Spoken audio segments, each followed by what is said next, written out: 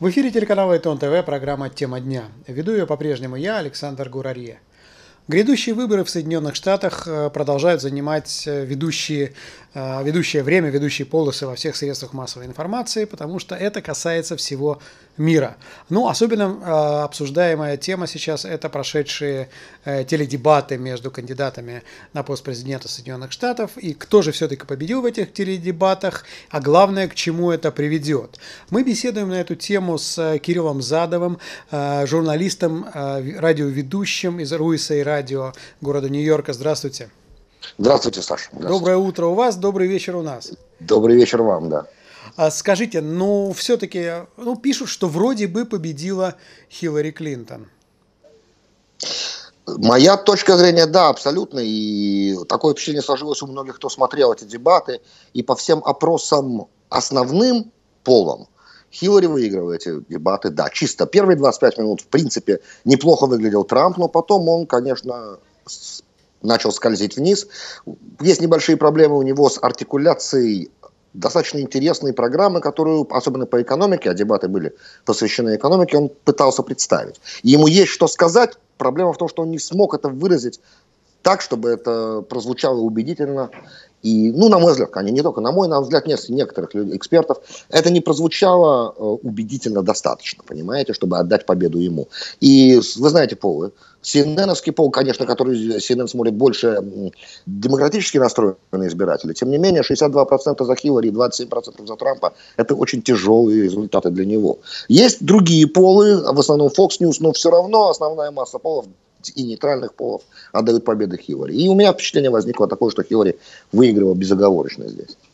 Специалисты утверждают, что победа на теледебатах еще не означает победу на выборах. Но, тем не менее, а, провал на теледебатах может очень серьезно сказаться на дальнейшем ходе избирательной кампании. Как вы к этому относитесь? Первые дебаты рано говорить. Помните, на, в 2012 году, когда Ромни э, с Обамой имели первые дебаты, у них были дебаты, Ромни выиграл первые, вторые выиграл убедительно Обама. Первые дебаты еще не настолько критичные. Проблема для Трампа, мне кажется, в том, что так как они посвящены экономике, и с точки зрения экономики его программа имеет реальный вес, в отличие от foreign policy, от внешней политики, то, конечно, для него эти дебаты были очень важны. Но есть и положительные моменты для него здесь тоже есть определенные. Смотрите, те, кто хотел голосовать за Дональда Трампа, на эти дебаты не будут обращать внимания, те, кто уже принял решение, это решение не изменит. Задача Хиллари была в том, чтобы привести после этих дебатов на пол избирательный больше людей, мне так кажется. И с этой задачей она, наверное, справится.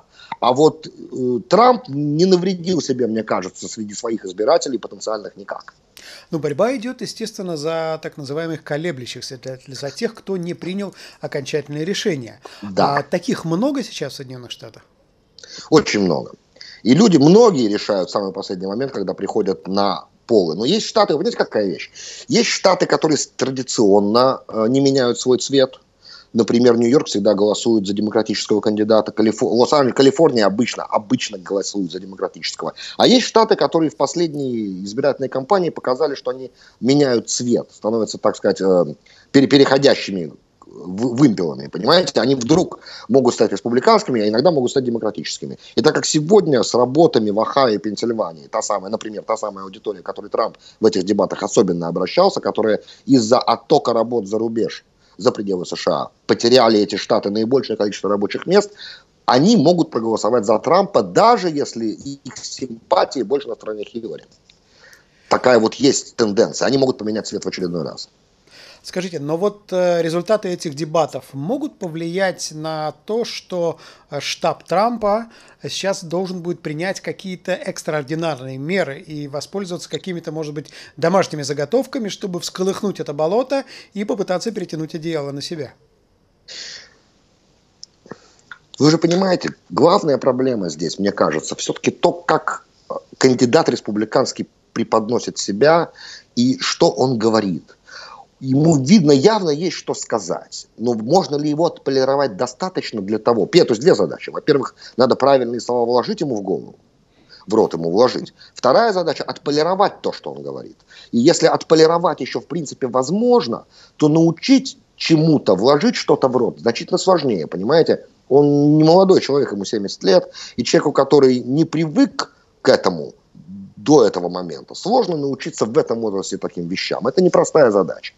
Какие экстраординарные меры? Какой-то вал компромата выплеснуть на Хиллари? Вы понимаете, человек, который прошел э, через все те стадии политической карьеры, через которые прошла Хиллари Клинтон, сложно найти какой-то компромат. Скорее наоборот, человек, который впервые заходит в политику, по-крупному, по особенно так по-крупному, как Дональд Трамп, да еще него проще. добавок, который явно... Об этом и речь, об этом и речь, понимаете, который еще до сих пор не опубликовал свою налоговую декларацию, потому что она находится под аудиторской проверкой. Это все проблемы большие. И как бы понятно, что у Хиллари очень много есть болезненных точек э, ее имейлы, Бенгази, и это на следующих дебатах обязательно прозвучит. На этих не прозвучало почти, кроме имейлов, несмотря на то, что Хиллари привлекла э, Ливию сама, привнесла в дискуссию, тем не менее Трамп слово Бенгази не произнес, а это могло бы дать ему определенные очки, это могло бы вывести Хиллари Ну, наверное, они все-таки Он... берегут козыри для следующих дебатов, правда? Возможно, возможно и так. Но, с другой стороны, Бенгази это не тот козырь, который вы можете держать как-то совсем уж за пазухой, потому что это было у всех на устах, это притча во языцах. Хиллари, основная масса критики, которая против Хиллари Клинтона идет, это то, что она, ей нельзя доверять, вот она в Бенгази плохо себя вела, э, врала, Если, если вас не затруднит, буквально несколько слов, наши зрители многие не знают, о чем там шла речь. Что, что произошло в Бенгази? Вкратце. А, после э, известных событий в Ливии в 2011 году и после э, гибели Каддафи, и после свержения его режима, э, был посол назначен туда, господин Стивенс, американский посол, который как бы это вкратце все сказать, который до этого занимался координацией действий между, скорее всего, занимался координацией действий между спецслужбами американскими, которые связаны с Госдепом всегда, вы понимаете, Госдеп и ЦРУ работают вместе часто. Он занимался координацией э, действий Государственного департамента и с повстанцами против Каддафи, которые выступали. Естественно, что э, абсолютно логично было его назначение на должность посла. Он поехал на серьезные там, э, решать серьезные вопросы в Бенгази, где находилось генеральное консульство Соединенных Штатов Америки. И 11 сентября 2012 года на это консульство было совершено нападение. Причем э, было представлено это нападение, официальная позиция Госдепартамента была в том, что это нападение было совершено стихийно, оно было совершено в результате протеста против неблагоприятных для мусульман, а, неудачного для мусульман фильма, который был снят и показан. То есть как протест против этого а, антиисламского фильма. Соответственно, Госдепартамент говорил, что он ничего никак не мог предотвратить эту катастрофу. В результате этого нападения погиб господин Стивенс посол и еще три сотрудника американского диппредставительства, что считается очень, очень, очень серьезным, серьезной проблемой для Госдепартамента. Когда посол США погибает на своем боевом посту как бы в стране, в стране который, в которой он работает. А, причем а в чем вина Клинтон была? В том, что, во-первых, что они представили неправильную информацию, и потом выяснилось, что они заранее знали о том, что это на самом деле не э, это, это атака на посольство, на консульство, простите, она была не спонтанным явлением, действием толпы, а эта атака была заранее подготовленным, тщательно спланированным террористическим актом. И вот то, что они скрыли эту информацию, это была первая проблема. Вторая, что зная о том, что подобная атака готовится, в чем Хиллари обвиняют, она не предприняла необходимых усилий для того, чтобы лучше это консульство защитить. Вот в этом проблема. Она, конечно, все эти обвинения отрицала, и на последних слушаниях по Бенгази в Сенате в американском она смогла свою позицию более-менее в выгодном свете представить. Она тогда была госсекретарем, да? В тот момент она была в последний год своего, своей каденции госсекретарем при Обаме. Да, это был конец первого срока Обамы, она была госсекретарем, совершенно верно.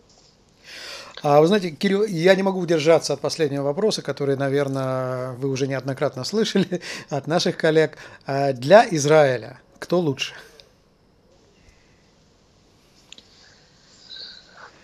Непростой вопрос, да? Саша, для начала хотелось бы, чтобы Амисроэль, чтобы нация определилась израильская, Чего с тем, что хочет, лучше да? для нее, конечно. Да. Потому что э, мы же понимаем парадоксальную ситуацию. И два для двух плохо, и одно для двух нежелательно. И лидер нации не готов принять схему одно для двух. По крайней мере, сейчас он не готов ее принять. И То пока одно, лидер одно нации... государство для двух народов. Ну, конечно. И пока он не готов принять эту схему, одно для двух, а де-факто это так, потому что мы же понимаем, что государство Израиль контролирует всю территорию от Средиземного моря до реки Иордан военной силой. Соответственно, под контролем находится все. Вся эта территория, уже де-факто это одно для двух государств. Для двух народов, конечно. Теперь как-то надо бы эту ситуацию, схему легализовать, чтобы она была удобоварима для мирового сообщества. И Натаньягу пока, как видно, не хочет этого. И пока он не хочет этого, этой схемы, то, наверное, мне кажется так, что если Хиллари Клинтон победит и будет исполнять то, что она обещала Натаньягу на встрече в Нью-Йорке э, на полях Генеральной Ассамблеи, о том, что э, она будет ветовать в Совбезе ООН любую одностороннюю антиизраильскую резолюцию, то тогда для сохранения статус-кво, того, что премьер-министр Израиля пытается сделать, очевидно, наверное, будет лучше для него, чтобы победила Хиллари. Мне так кажется. Потому это что тогда него. эта ситуация, ну, если, если нация здесь согласна с премьер-министром, то и для Израиля, естественно. Так. Вот. А если, вот это сложный очень анализ, он как бы, Разумеется. он построен на том, что лучше для страны. Я имею в виду сейчас Израиль. Будет. Что лучше для и... премьер-министра, мы уже выяснили. А вот теперь Понимаю. для страны. Вот да. Теперь. А вот для страны это большой вопрос. Готова ли страна продолжать этот конфликт э, и сохранять этот статус-кво, пытаться сохранить то, что сложно сохранить, что мы видим из последней волны террора последний год, которая продолжается. А на ваш взгляд, действительно ли Трамп столь непредсказуем, как его рисует? Вот, допустим, да. а, если про Клинтон все понятно, она будет проводить такую-то, такую-то политику, все знают, что она, собственно, будет делать на несколько шагов вперед. Может быть, ошибаются, конечно, но тем не менее, думают, что знают. А вот с Трампом там как-то вот все вот такой он порывистый, да, вот такой американский Жириновский Жириновский. Но он не совсем Жириновский, он намного богаче, вы понимаете. Видите, в чем проблема с Трампом? А вот это спорный вопрос, кстати. Наверное, да. Кстати, тоже да. А, вы понимаете, с а, господином Трампом, на мой взгляд, очень большая проблема вот какая. Деньги и власть – это разные вещи. И та те, техники, та тактика, и та логистика, и та стратегия, которая позволила Трампу заработать, стать миллиардером, она для президента США не очень хорошая, потому что президент э, гегемона мирового, да, назовем, будем называть вещи своими именами, он должен уметь искать компромиссы.